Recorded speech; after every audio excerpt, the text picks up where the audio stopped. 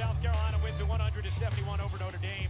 For our producer, Kerry Callahan, our director, Mike Roy, Andraya Carter, Holly Rowe, the Hall of Famer, Rebecca Lobo. I'm Ryan Ruocco. Monday Blitz is next on ESPN, but first, here.